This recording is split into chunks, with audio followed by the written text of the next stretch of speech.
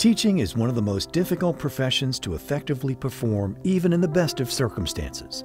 For teachers in urban schools, issues unique to the environment can amplify common teaching challenges while introducing a host of special case scenarios that can impede a successful classroom experience.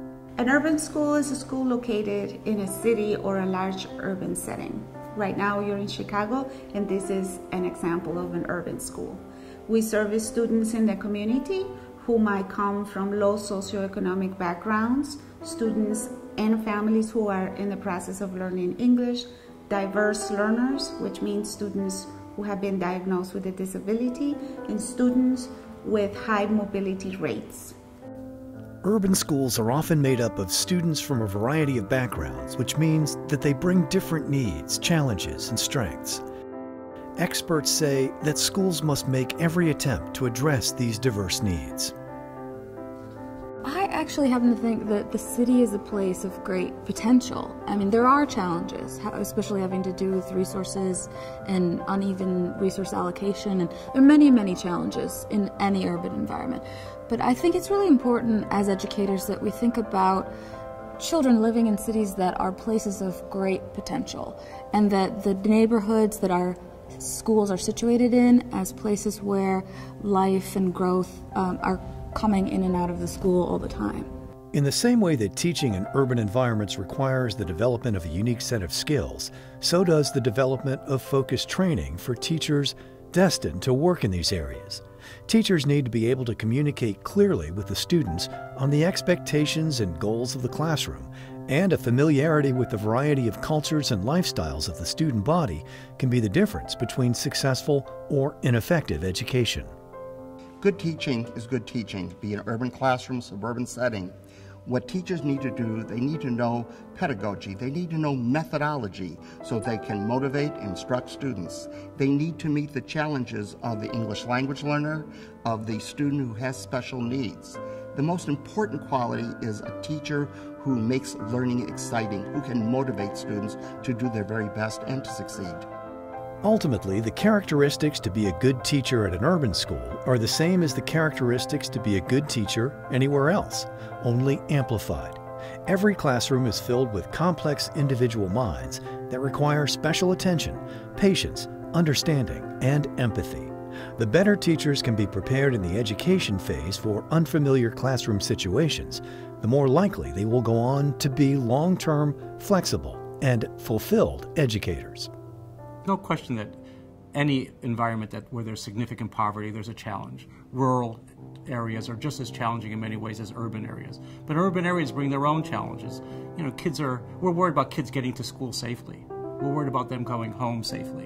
When I first started as a teacher educator, our students were more concerned about what happens between 9 and 3 you, you have to be much more concerned about what happens after three and before nine. A successful urban teacher knows methodology. A successful urban teacher knows how to motivate students. A successful urban teacher relates so very positively to all his or her referent groups, starting with the students, the parents, colleagues, administrators. Understanding the community and the needs of the community and the diverse needs of the learner. DePaul University's College of Education is an institute of higher learning dedicated to preparing educators, counselors, and leaders who are committed to creating equitable, compassionate, intellectually rich, and socially just environments. DePaul University was founded on the basis of you know the ideas of St. Vincent de Paul. And you know his major question, which is a question that brings many of us here, is what must be done. And when we're speaking about what must be done, what must be done with those who need it the most. The mission of the College of Education is to prepare confident, competent educators in Chicago.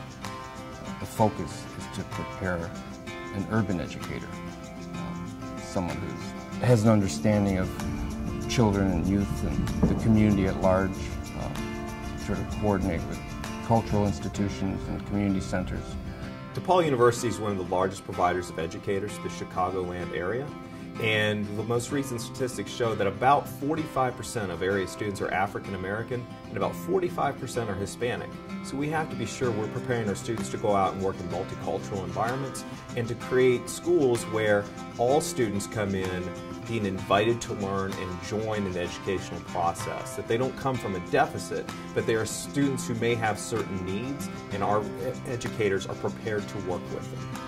There are a lot of wonderful schools in Chicago and around the nation that are preparing excellent teachers. I think that DePaul University sets itself apart because it, we're really thinking about the whole child and really thinking about what it means to be um, a citizen in the 21st century, what kinds of capacities uh, a human being needs to build a life that they love to live.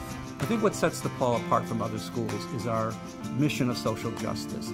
And while other schools pretend or say that they have a mission of social justice, we do. We really walk the talk.